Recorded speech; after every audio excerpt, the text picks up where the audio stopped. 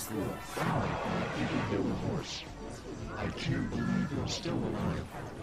Evil Yellow Horse is on o'clock in the morning right now.